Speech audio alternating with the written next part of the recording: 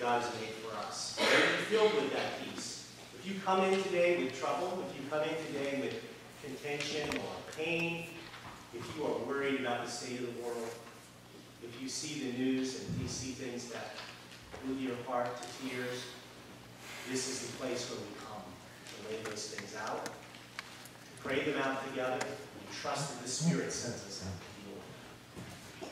We are also blessed this day because it is Pentecost. It is the birthday of the church. And uh, it means the day that the Spirit moved and brought us together with God forever in this unified kind of way, and also empowered us to go out and do the incredible work that God has called us to do. Some of that work is all around you. Our confirmation families and uh, kids came in today, at, or yesterday afternoon, for both last night's Saturday service and today to spread this power. And I invite you to look behind you too. You may not have turned around and seen what they did back there with that space there. It's almost like these tongues of fire that come to us on Pentecost are firing us up this day. We've also said this idea that the, the, the, this is the Christ candle, the light of Christ, going out into the world, not just up into the sky, but out into the world to uh, spread that love. And that is a great way to be centered are there others who have announcements or, or something to say for the good of the congregation this morning? Yes, Ann? Uh, just a reminder that Persian donut orders for June the 6th are due in today. If you'd like to have some, uh, there's a form in the bulletin, and you can see me. Thank you. Fantastic. Thank you. Do we have anybody who's visiting with us today? We had visitors last night, which was very exciting, so we gave them the Easter bag, which was fun. Um, And continue to invite your friends and neighbors to come out, or people we haven't seen in a while, tell them, come on back, because things are happening around here. You see that, uh, it's on the cover of your bulletin, that uh, we have this fun line from uh, the Acts text today about Pentecost, in which some people are fired up, and other people are, they seem a little drunk around there. They're having such a, a lot of stuff going on. And so we celebrate that new wine spirit that we have going on here, which continues in this week to come. Uh, on Wednesday night, we have our last appearance uh, of Pastor David Meisenheimer for uh, this visioning process. And this is one where everyone who has come to the visioning meetings so far, come on back out, because uh, we have lots of uh, great things to report and work to do on this last session. But we really are opening it up and making sure that all the congregation is coming on Wednesday night, 6.30. And we'd like to make it a bit of a celebration, so we are opening up as a potluck and covered dish, excuse me, I gotta say my right look other parts of the world. Uh, covered dish, so we're going to be uh, having food and celebration on that day, and we'll be sending a one call now uh, message out uh, confirming that to everybody, so we invite everyone to come and bring something to eat and share.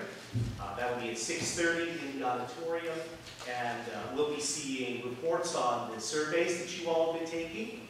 We will uh, have other kinds of reports about the demographics of this area, and we'll also be doing some of the final work in figuring out what God is calling that vision to be. So come, be a part of it, let your voice be heard, and also see what God is up. Yes, so, uh, you got the message about the electronic uh, survey, or you can do it by paper. Uh, That survey, we're going to finish and cut it off on first thing on Monday morning, so we can get all the entries in, in time for uh, premiering that on Wednesday. So if you have not had a chance to fill out that survey, uh, you can do it electronically, and that link that came to your um, email can let you do that. If you have email and you didn't receive that link, let us know, we'll get that out to you. And if you are a member that doesn't want to do it by electronic means, we have paper copies still in the office that you can fill out, reseal the envelope, and turn back in so that everyone's um, responses can be tallied up. So we're going to continue that today. Uh, You can get that uh, copy today, or you can let us know, we'll make sure that that uh, link gets to you. Oh, Pastor, I I did, you didn't do yours yet? All right, well, you can. I don't want to do it this afternoon. So don't feel bad, if you haven't gotten it done yet, you can get it done today, and it will still count and be tallied. It's going to be a challenge to procrastinate better than faster, isn't? Yeah, yeah, exactly. Uh, in our worship service today, it is Pentecost. We were going to be outside. Weather didn't quite cooperate, though it's starting to get kind of bright out there, which is fun. But next Sunday, we are going to be outside, if we possibly can, for Memorial Day. Uh, and we are blessed, contrary to what the information we had previously, which was printed in your newsletters for this month. The UVO is coming out. We will have a student speaker who's going to be here. It's all good. And uh, so we will be continuing to promote that as well this week. Uh, and the student speaker is Julie Heister, I think, or Easter? Is it Heister? Uh, student from, uh, from um, Lehigh. Uh, but, so the uh, Sunday school will be present. We're going to be singing uh, America the Beautiful, I believe, uh, in the junior choir. And um, so it's going to be a great service out there. If it gets rained out, we'll be back in here. So we'll do it no matter what.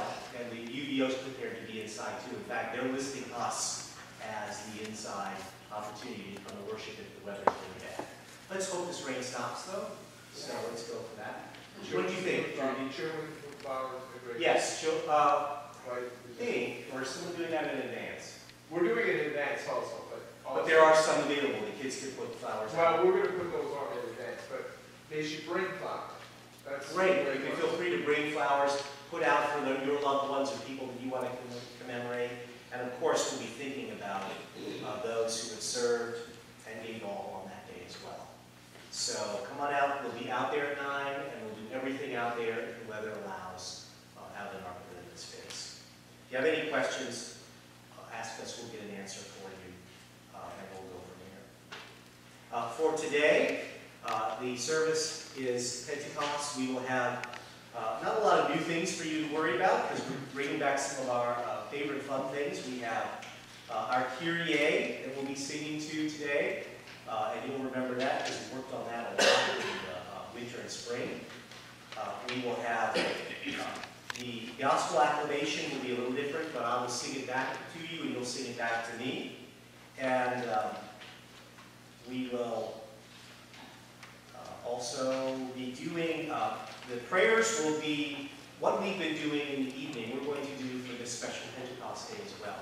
So I will walk you through how we do that, and many of you who have been part of our golden evening services or have come to an evening service will remember how that works. It's pretty simple, and we will all be in it uh, together. I will sing the lead part, and Pastor Allison will be able to help all the rest of you to follow with the congregational answer.